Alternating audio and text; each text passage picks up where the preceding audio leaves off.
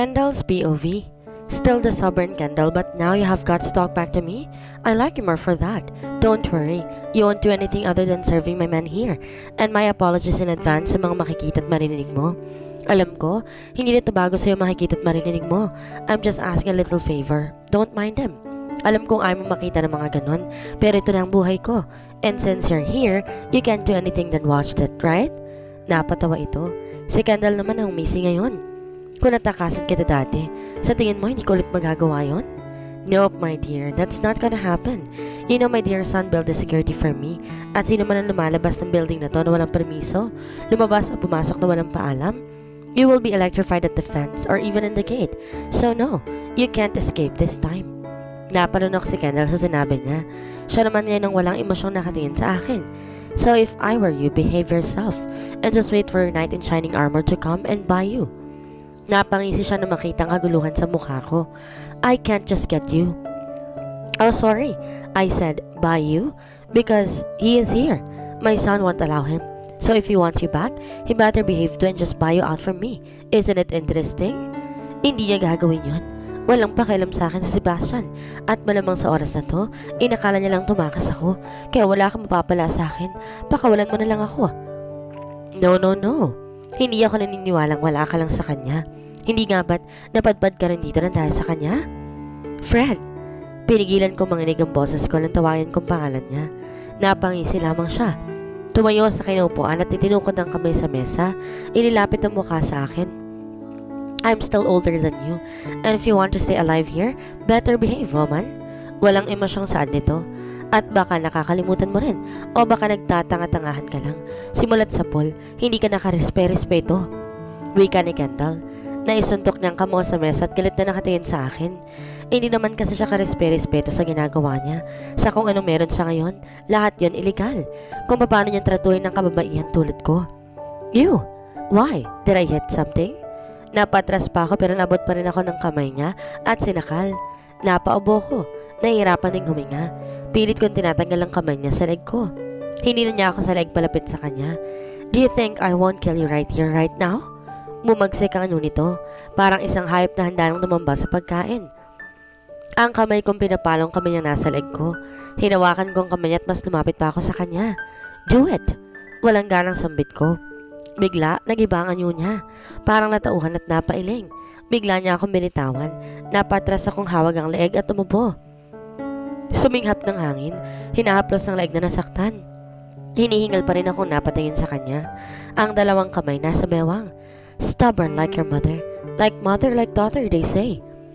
Umiiling na saan nito. Napaayos si Kendall ng tayo at tinirap siya. Hawak pa rin ang daig ng masama niyang tinignan. Paano mo nakilala ang mama ko? Napangisi siya at maling tumalikod. Tinukod ang dalawang kamay sa mesa. Didn't she tell you? That like you, she was here. Anong ginawa mo sa kanya? Kinakabahang tanong ko. I didn't. I didn't do anything to her. Siya ang lumapit at nagpakaawang bumalik at magtrabaho sa akin. Anong ibig mong sabihin? Hindi mga proseso ng utak ni Kendall ang sinasabi niya. Anong ibig sabihin niya na si mamang lumapit sa kanya at gustong bumalik? Bumalik? Ang ibig sabihin, noon pa man. Napaangat ang tingin ko na magsalita siya. Are you ready to know everything about your mother? Hoy, ano pang ginagawa mo dyan? Napatingin ako sa babaeng nasa harap ko ngayon. Hindi ko na malayang nakatayo na lang pala ako dito sa labas ng pinto. Hinihintay na niya doon. Baka ako anong gawin nun sa'yo. Ang tagal mo eh. Binuksan niya ang pinto at pumasok na ako doon. Napatingin ng mga lalaking naroroon nang makita ko. May apat na lalaki magkakarap at may kanya-kanya mga babae sa kandungan. Nakasuot pa ng iba ng pang trabaho sa opisina. Sinigurado kong walang emosyong makikita sa mata ko bago ako lumapit sa pwesto nila. Nilapag ko ang anak sa mesa nila at ayos sa sala ng tayo nang maramdaman ko ang kamay sa pangupo ko. Hindi ako nag-alalangang paluin yung hawak na tray. You whore! You dare! Sigaw ng lalaking singkit ang mata. Mabilis dumapo ang kamay sa pisngi ko. Tumabingi ang mukha ko dahil doon. Mabilis nalipitan ako ng tauhang naroroon at ang babaeng nagbukas ng pinto sa akin kanina. Kinausap nilang ang check at tinala ako ng babae sa labas. Hindi mo dapat ginawa yun. Napabuntong sa nito at napailing. Malalago tayo pareho kay boss. Binastos niya ako. Katwiran ko at napaikot ang mata nito. Girl, Wala sa vocabulary natin ang salitang bastos. Nandito ka sa loob. Ano sa tingin mo mangyayari sa'yo dito? Ang nangyari kanina, ang ginawa sa'yo ng incheck na yon, normal yung sa akin nandito sa loob. Hindi ako sumagot at tinayaan ng siyang magsalita. Napakamat at pinaalis na ako. Bumalik siya sa loob dahil kailangan niya raw amuhin ng lalaki kanina at galito sa ginawa kong pagpalo sa kamay. As if may pakialam ako. Alam ko namang normal lang yun dito, pero hindi ako nagtatrabaho dito at walang sino mang pwedeng humawak sa akin. Huminga ako ng malalim. Naglakad pabalik sa kwarto namin ni Beatrice. Naiiyak na naman ako na maalalang na pag-usapan namin ni Fred kahapon tungkol kay mama. Huwag mong sisirain ang mama mo sa akin. Galit na sigaw ko sa kanya. Napatawa lang siya at umiling. Your mother, we're childhood friends. Nanlaki ang mata ko sa sinabi niya. We are best of best friends. Lahat ng kalokohan, maganda man o mabuti, ang nangyayari sa buhay namin, palagi kami magkasama. We are inseparable. Not until that incident happened. I'm not gonna tell you that part. Your mother doesn't want you to know that part of her life. Kahit ang sasabihin ko ito ngayon, wala siyang balak sabihin sa'yo at babaunin na lang niya sa hukay. Kung ganon, bakit mo sinasabi sa akin ngayon lahat ng to? Tanong ni Kendall. Ngumiti siyang malungkot pero sumeryoso din kaagad. Fast forward, we have been doing this business together, not until you came. Mas lalo ko naguluhan. I didn't know that your mother is dating that time. I was abroad for months because of business. Nang bumalik ako, buntis na siya sa'yo. Nakita kong lungkot na dumaan sa mata niya. Tumingala ako at ilang beses na pumikit. You know, I was planning on marrying her when I get back, but all the plans disappeared when she told me that she was pregnant to you. I was happy at first because I thought you are mine, but then Huminga siya na malalim. Parang hirap na magkwento pero nagpatuloy pa rin. You are not. I was so angry at her. Tinakwil ko siya at di kinausap pero nagpumilit ang mama mo na amuhin ako. And because I love your mother, I let her go. Huli na nang malaman kong kalagayan niya. Kumuyom ang kamay nito at bakas ang galit sa mga mata. But then I cannot blame her. She just fell in love. The man doesn't know that you exist. So I offered myself as your father. I will take all the responsibility. But your mother refused. Nakiusap siyang palayain ko siya at gusto niya magpakalayo-layo. Wala ako nagawa noon. I am busy at work and there's so much in my plate that time. Pumayag ako at yun ang huli kong kita sa kanya. Nagulat na lang akong bigla siyang lumapit sa akin. Humiling na gusto niyang ibalik ko siya sa trabaho niya. Tinanong pa siya kung bakit. Malaya na siya. Bakit bumalik pa siya? Bakit kailangan niya pang bumalik? Tumingin siya sa akin. Ilang beses na panunok. Walang-wala si Kendall Lakibo. Pilit na binoproseso ang lahat ng sinasabi niya. Hindi ako makapaniwala. Wala man lang akong kaalam-alam. It's because of you. Hindi makapaniwalang napatingin ako sa kanya. Nakaawang ang labi ko sa gulat. Dahil nasanay siya sa trabaho dito, nahirapan siya mag-adjust sa labas. Kaya bumalik siya sa akin. Tumagal din ng ilang taon at nakaipon ulit siya. At muling nagpaalam na aalis. Kaya alam kong sa puntong yon hindi na siya babalik. Hiniyaan ko na lamang siya. Katulad niya, nagkaroon din ako ng anak na hindi inaasahan. Napangiti siya. Maraan iniisip si Kaden. Bumaling ito sa akin na nakangiti. Don't cry. Your mother will surely be cursing me right now for telling you all this. Napahikbi na si Kendall. Hindi ko na malayang na malisbis na palang luha sa mukha ko. Hindi ko napigilang umiyak hanggang sa napahagulgol na ako. Kaya hindi kita binigay nun kahit pa ilang milyon ng patong sa ulo mo. Napaangat ang tingin ko sa kanya. Nagtatanong ko siyang tinignan. Hindi ko magaw magsalita. Masakit ang puso ko sa lahat na nalaman ko ngayon. At mas lalo napahagulgol sa sunod niyang sinabi, You are your mother's daughter that I wish I could have. Mabilis kong pinunasan ang mukha ko na makarating sa pinto. Huminga ng malalim bago pihitin pa bukas.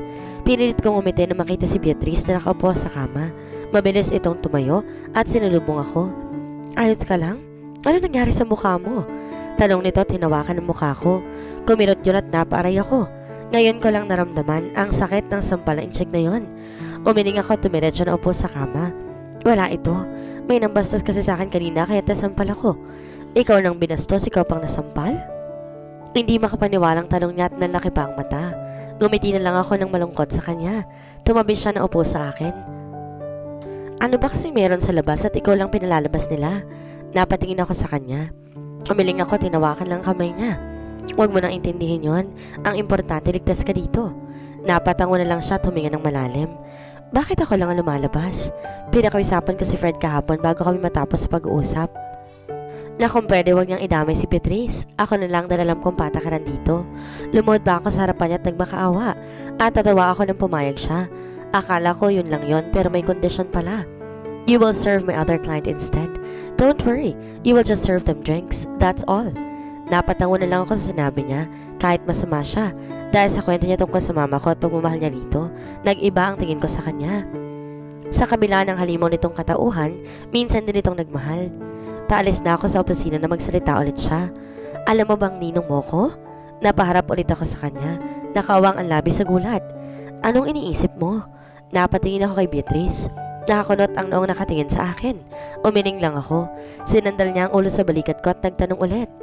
Paano nga nga pala napunta dito dati? Base kasi sa pakikitungo sa'yo ng boss dito para magkakilala kayo at parang kilala mo din siya. Huminga ako ng malalim. Inalalang na karang ayaw ko ng ayaw balikan pa. Pero baka sakaling maibsan ang bigat ng dibdib ko. Wala klaseng ibang nakakaalam. Wala kaming kinukwento noon ni Amanda. Nang sinabi lang namin kung sino yung kumuha sa amin. Tahimik ang mga magulang namin at di na ulit yun naungkat. Naglalaro kami noon ng kaibigan ko si Amanda sa park. Every after school kasi. Pumupunta kami doon at naglalaro. At sakto pa na wala na iba naming kaibigan. Kaya kami lang dalawa. Masaya kami naglalaro sa swing nang makita ko ang isa sa mga kaibigan namin. Sabi ko kay Amanda sundan namin, kaya sumunod kami sa kanya. Ang hindi namin alam, napapalayo na kami sa park at wala na sa paningin namin ang sundo namin. Pero dahil determinado masundan ng kaibigan namin, nagpatuloy kami. Hanggang sa nawala kami, hindi na namin makita ang kaibigan sinusundan namin. Humugot ako ng hininga ng ilang beses bago nagpatuloy. Ayos lang naman kung hindi may kwento kung nahihirapan ka. Pasensya na. Hinaplos ni Beatrice ang likod ko. Umiling ako at tumingala. Pinipigilan na nagbabansang luha. Takot at takot kami. At mahigpit na magkahawa kami na naglakad at tinanap ang daan pabalik pero hindi namin yun mahanap. Hanggang sa may humintong sasakyan sa harap namin, bigla na lang kaming isinakay. Wala kaming laban sa edad namin yon, lalo na nang pinaamoy kami ng aming pantulog. Nagising na lang kami dito. Actually, dito mismo sa kwartong to. Umiti ako ng malungkot. Nanlaki ang mata niya at nabalinga sa paligid. Nakikita mo yon? Tanong ko. Tinuro ang sulat na naroon sa pader. Saka ko lang na yun napansin at biglang rumagasa na parang tubig sa gripo ang lahat ng alaala namin dito. Sinulat yan ni Amanda noon sa pag-aakalang di na kami makakalabas pa dito. Napatingin siya doon at lumapit sa pader. Hinaplos na nakasulat. I love you mommy and daddy. Please don't be mad at me. Basa niya sa nakasulat sa pader at napatingin sa akin. Maliit lang ang sulat noon, kaya hindi makikita kundi lalapitan. Wala kami magawa noon hanggang sa pinagawa na nila kami ng kung ano-ano. Nagkikita lang kami ni Amanda kapag gabi na.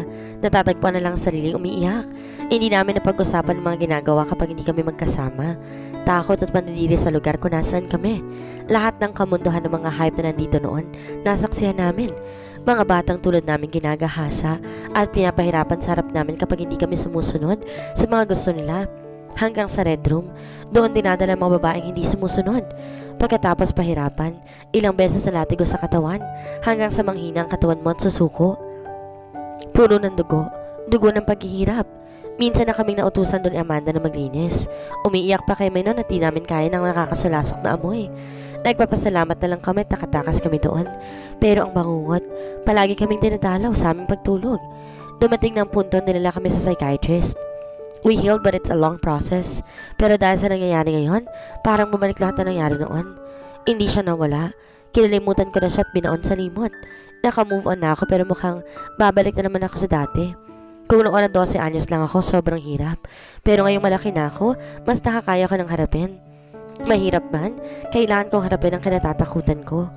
Kailan kaya tayo makakauwi? Napalingon ako kay Beatrice. Katatapos ko lang sa trabaho ko sa labas. Hinatiran ko siya ng pagkain dito sa loob para sabay na kaming kumain. Naiinip ka na ba? Tanong ko.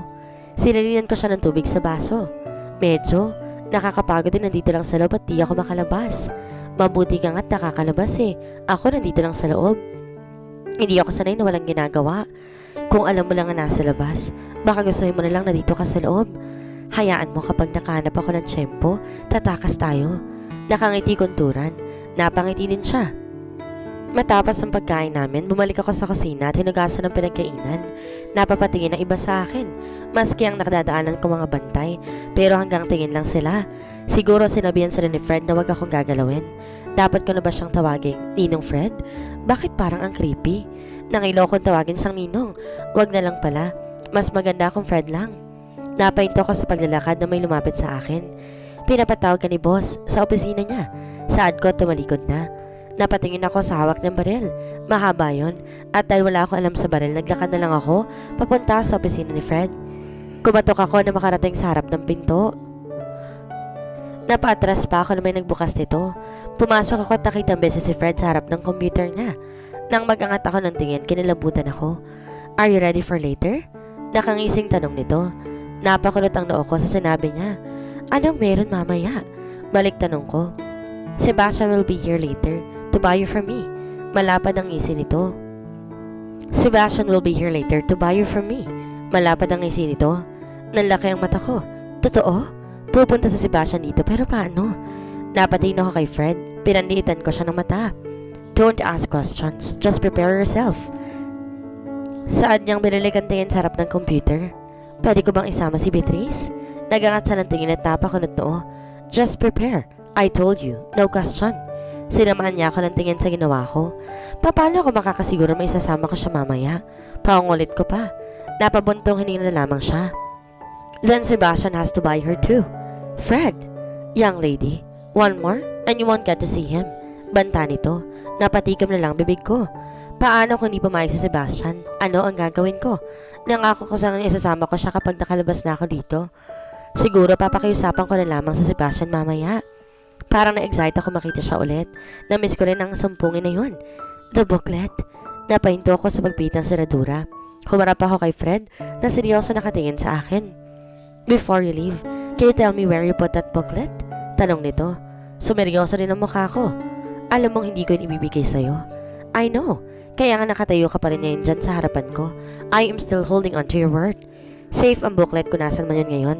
At may isang salita ko. Hanggat wala kang ginagawa sa akin at sa pamilya ko, hindi yun maisa sa publiko. Tugon ko. Tumalikod na ako tinahintay pa siyang sunod na sasabihin. Kaya hindi niya ako magalaw dati. Kami ni Amanda. Ilang beses din siya nagtangka pero hindi siya nagtagumpay. Ang booklet ang habot niya. Kung nasan ang lahat ng transaksyon na nangyayari. Nakasulat lahat doon. Bawat detalye. Mga pangalan ng mga kanilang tao. Wala siyang magagawa dahil hindi niya ito makukuha sa akin. At sana lang, hindi siya mahanap ni Fred. Ano nangyayari? Tanong ni Beatrice na nilala ko siya sa labas. Nagtataka, palingali nga sa paligid. Hindi ko siya sinagot at patuloy na hinila. Naglakad kami hanggang sa makarating sa isang podium. Sa likod kami ng stage kung saan marami ang naroon. Mga babaeng nakaayos at inaayusan pa lamang. May lumapit sa amin at giniya kami sa changing room. Nagtataka pa rin si Beatrice. Maangsa nangyayari. May binigay na damit sa amin ng babae. Masyado yung maiksi at lantad ng katawan. Ako na ang kumuha ng dress hanggang hita pero hindi naman masyadong lantad ang dibdib. Wala kami ibang pagpipilian at lahat ng damit ay ganon. Binigay ko rin ang isa kay Beatrice. Anong gagawin natin? Ano nangyayari? Bakit ang dami mga babae dito? At parang ang babata pa nila, parang wala sa sarili ang iba. Natangay ang iba pa niyang sasabihin na ipasok siya sa loob ng isang cubicle para magbihis. Wala sila sa sarili, nakadrag sila at sinadya para hindi makapalag. Napanganga siya sa sagot ko. Nagsimula na ako maghabad ng damit. Gagawin din ba nila sa atin yon?